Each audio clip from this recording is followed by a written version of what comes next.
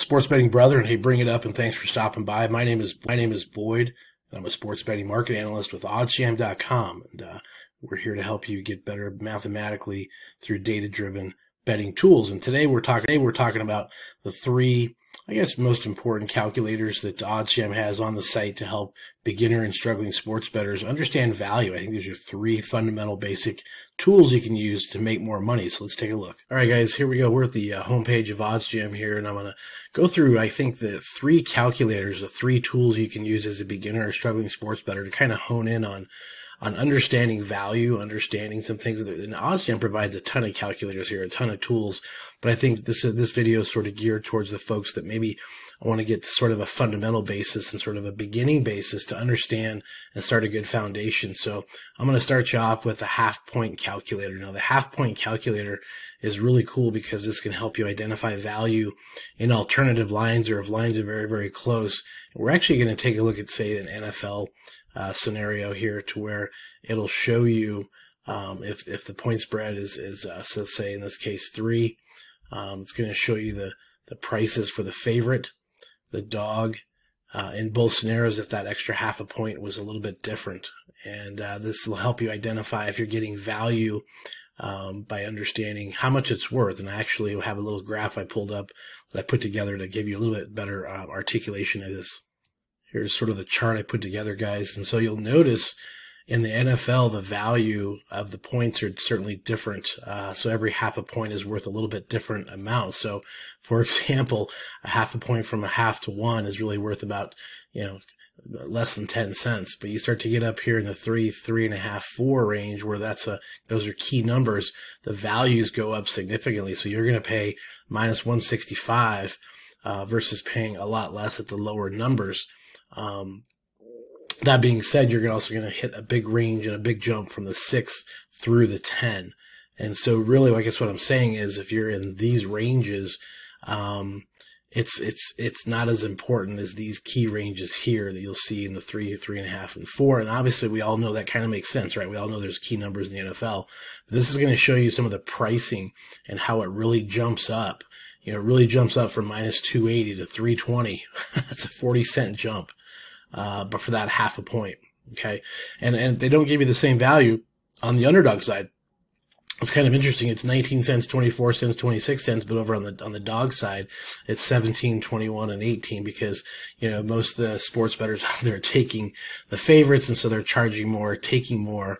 Uh, of course, this is how the sports books are making their money. And so if you understand kind of what you're being charged, you know, understanding if there's a fair market value or a good value in what you're being charged, you can make a good determination. Um, but just keep this concept in, in hand for um, NFL, and so it's going to be completely different for uh, NBA, uh, college football, and college basketball. So as I mentioned, there are going to be different pricing for the favorites and the dogs, and this is the NFL. So remember, minus 135 and plus 112. So let's pop over real quick just to uh, take a look to um, the different sports, and I'll show you what we're talking about. So, for example, in the NBA, if it was a three, you know, minus 119, minus 102, obviously that's different than the minus 135 we just saw in the NFL. And uh, this is going to show you that there's definitely variance in, in the pricing. You understand, obviously, the markets are different, the pricing is different. And here you can see in college football, uh, at three at par, basically the minus 110 is the minus 125 versus the minus 135 in the NFL. So, um, keep those concepts in play with different sports as you understand the different markets. I harp on it all the time. Understand markets, markets, markets. Then after you get done figuring out the markets, go back and understand the markets.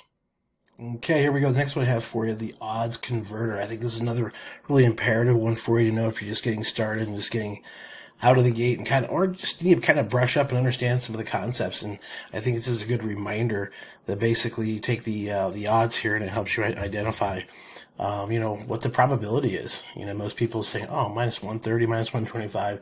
Uh, this is a no brainer. Well, really there's, according to the uh, probability here is, you know, just a little over half a 50-50 chance. So, uh, let's say the other way, you want to go plus 130 you know, I think it's imperative to know that you have a concept, you start to think like this, and then you say, well, you know, for uh, 43% of the time, this will hit. So I think a lot of people, when they take these dogs, they think they have really kind of no chance. And the reality is this is probably a higher number than they anticipate. and then contrarily, the uh, the favorites, you know, like wow, it's minus one fifty. How could I possibly lose? Well, you're going to lose, uh, you know, uh, or I'm sorry, minus one fifty. You know, you, are gonna you're gonna um, lose forty percent of the time you know, four out of 10 times. Yeah. So I think this is a good calculator to understand. Uh, if you ever want to check out other fractions or decimal systems as far as any other uh, ways to calculate it, of course, we're staying with the American uh, odds here and have, has that probability, which is a very key important part of understanding the uh, sports betting. Okay, guys, on to the third calculator that I think is very, very important to understand uh, as you're getting started, understanding the markets, understanding um, you know, value, understanding all this. And so I come over here to the point spread to money line converter now. This is kind of interesting when you're shopping for lines, because let's say, for example, again, we are in the NFL, and I'm going to do a quick example in the NBA, but if you're at three, you know, you should be getting minus 165 on the money line.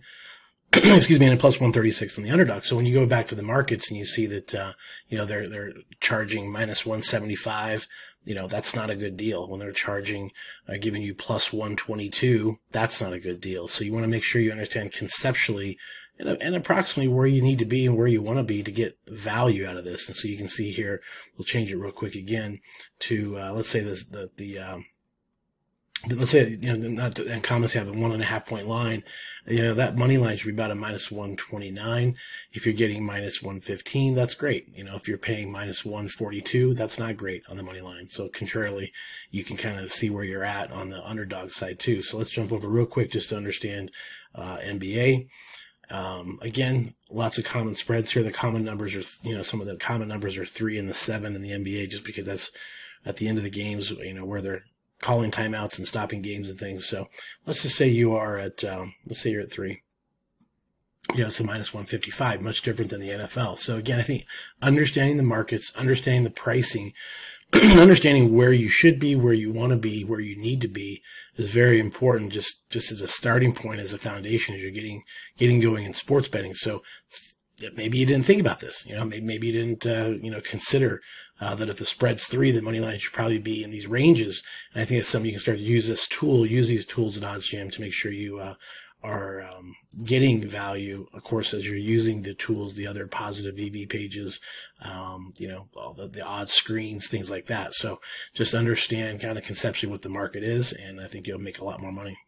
There you go. Those are the kind of top three uh, calculations and concepts. I think it's helpful to know as you first get started in the uh, data-driven, markets-driven, uh, focused uh, tools of OddsJam they're providing to make mathematical money. Don't forget that free seven-day trial. Get over, get that thing signed up, and uh, use the links to help you make some money quickly out of the gate as you uh, kick off your sports betting endeavors. Thanks again for stopping by.